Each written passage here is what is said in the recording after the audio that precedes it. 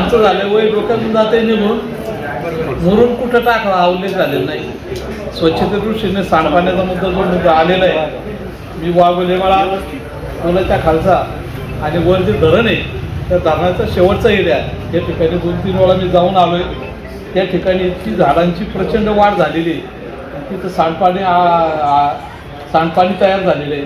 विशेषतः आपलं जे वरचं धरण आहे याच्या शेवटच्या टप्प्यात जर तुम्ही आत्ता सगळे जर गेलात एवढी झाडी वा वाढलेली.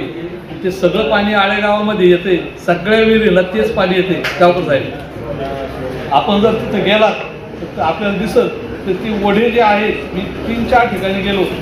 इतके वढे दाट झालेले त्या दाट वड्यांच्या भोवती सगळं सांडपाणी साठलेले ते पाणी त्याच ठिकाणी मुरतंय आणि विहिरीला उतरतंय. आपलं भाष्य आहे तर बऱ्याच ठिकाणी आरोग्यावर आपण बोललेलं आहे. त्या आरोग्याच्या दृष्टीने हा अत्यंत कळीचा मुद्दा आहे.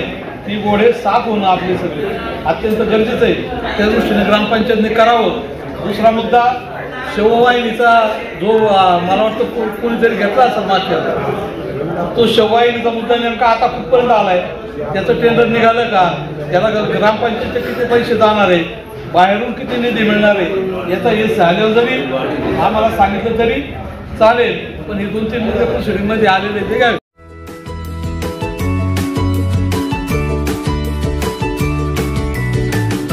बातम्या शेतीच्या.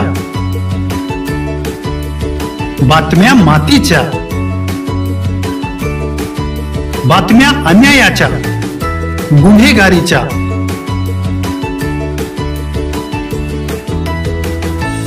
राजकारणाच्या आणि समाजकारणाच्या.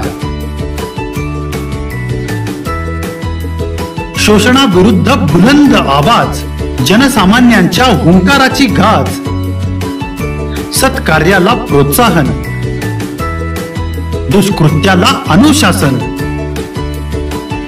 निर्भीड निस्पृह सडेतोड बेधडक आणि रोखटोक म्हणजेच विघ्नहर टाइम्स शोध बातमीचा ध्यास सत्याचा. आपलं चॅनल आपली बातमी. सबस्क्राईब तर कराच पण बेल आयकॉनवर क्लिक करायलाही विसरू नका.